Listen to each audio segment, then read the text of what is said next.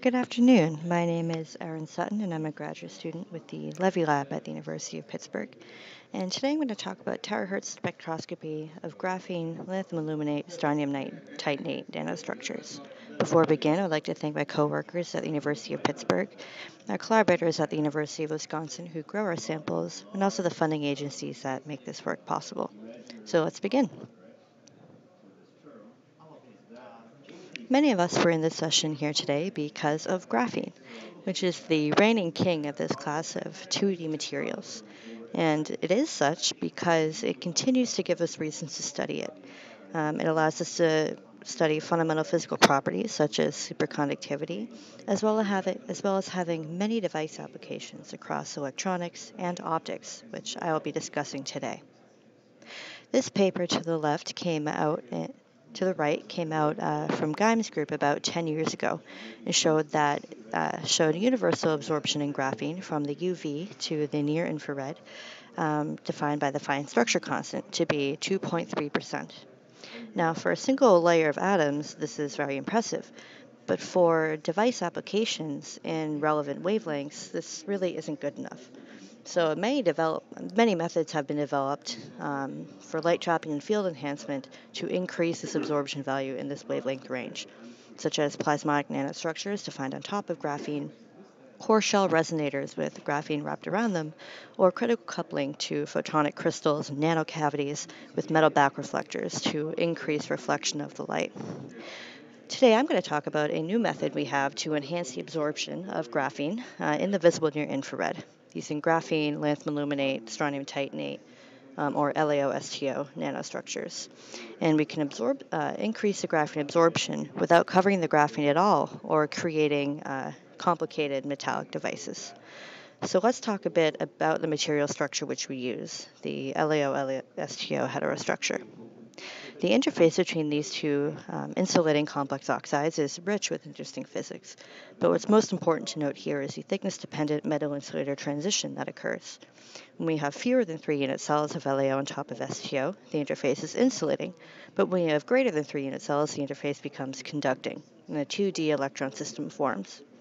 When we remain at this critical thickness of three unit cells, you can reversibly switch the conductivity of the interface between insulating and conducting by, for example, applying a backgate to the bottom of the sample and changing the polarity of the voltage applied.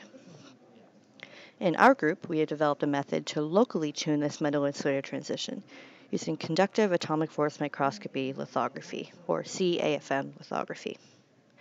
So first, we grow thin films of LAO on top of STO at the critical thickness. We then fabricate contacts to this interface. We then bring a conductive AFM tip into contact with the top of the LAO. When we apply a positive voltage to this tip, we deposit protons on top of the surface. These, in turn, attract electrons to the interface, which locally modulate this metal insulator transition. When we apply a negative voltage to this tip, we effectively remove the protons that we deposited, erasing the nanostructures that we defined. Using this method, we're able to create structures as small as 2 nanometers, and it is reversible and reconfigurable.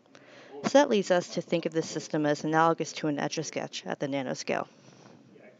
Of particular relevance to this work is the uh, nanojunction pattern, which is pictured here. So we have a four-terminal device in which you draw a nanowire from a source to a drain electrode. We create a 10 nanometer insulating gap in its center. And we also have connections to two voltage sensing leads. So we're going to generate terahertz radiation by applying a DC bias between source and drain, measuring the photovoltage that's generated uh, by ultrafast pulses hitting this nanojunction. Now, how exactly does the structure generate terahertz radiation? It seems like a strange claim, but it is due to the third order nonlinear process in uh, the strontium titanate, which has the largest third order nonlinear susceptibility in the solid state. So to visualize how this works, here's an equation for the third order nonlinear polarization. So we have a DC bias across the junction that's highly confined in space and constant in time, the third order nonlinearity, and then two optical fields that are highly confined in time. Um, and when we multiply these together, we get a nonlinear polarization that is highly confined in both space and in time as a function of the difference frequency of the optical fields. Uh, here is a schematic of our experimental setup. So we have ultrafast pulses leaving a uh, TAS, TAS Sapphire laser, and they enter a compact Michelson interferometer. The ultrafast pulse hits a 50-50 beam splitter, and the reflected pulse uh, hits an optical delay line that is composed of a piezo stage and a mirror. The two beams are recombined at the same beam splitter and focused onto the nanojunction using a 100x objective.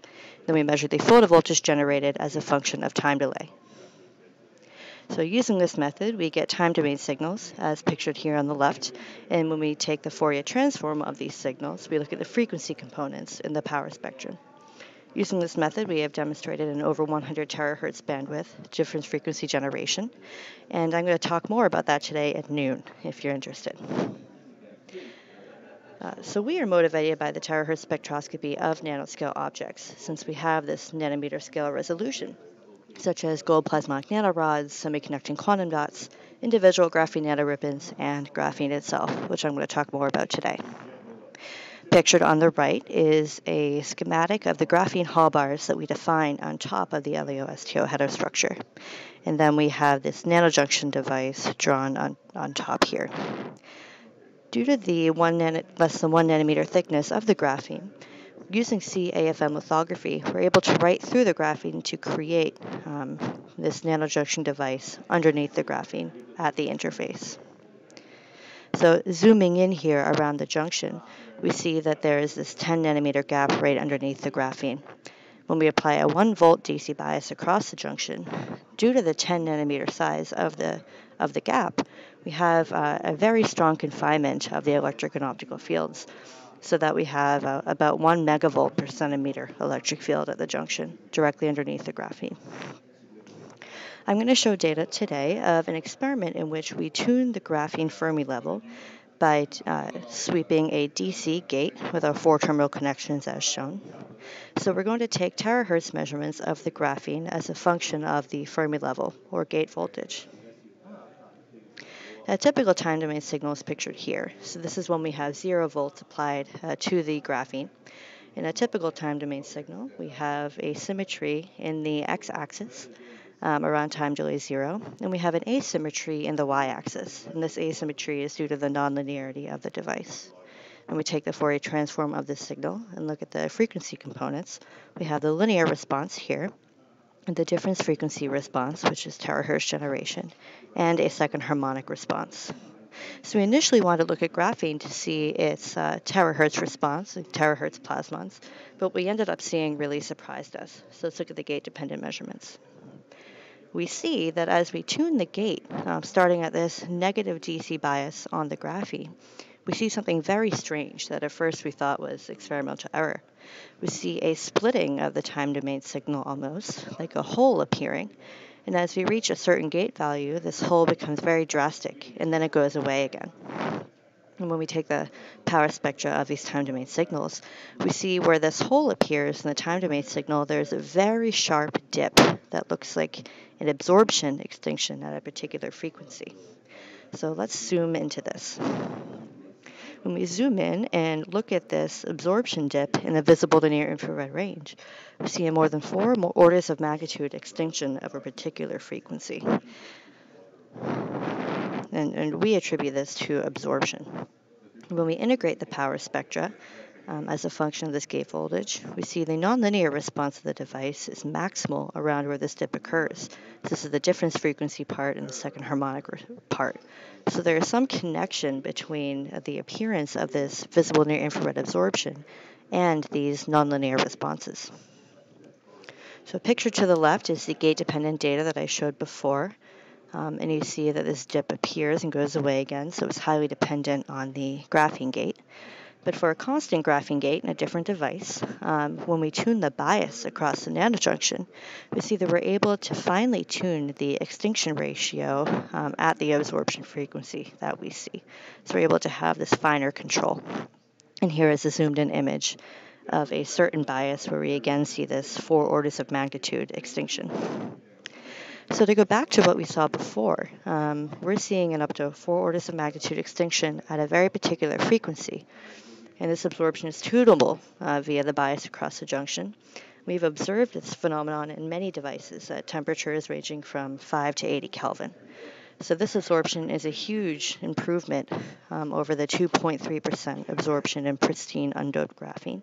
And we achieve it without having to fabricate any complicated devices or um, cover the graphene at all. So to conclude, the LAO-STO interface provides, provides a narrowband, continuously tunable nanometer scale terahertz spectroscopy with an ultra broad bandwidth. Uh, gate dependent absorption is achieved in the visible to near infrared using uh, this gate dependent measurement of the graphene device. And we are still working to explicitly identify this absorption enhancement mechanism, whether it's through the strong local electric field at the junction uh, maybe a graphene quantum dot structure that is forming, or the plasmonic response of the graphene itself. And with that, I'd like to take any questions.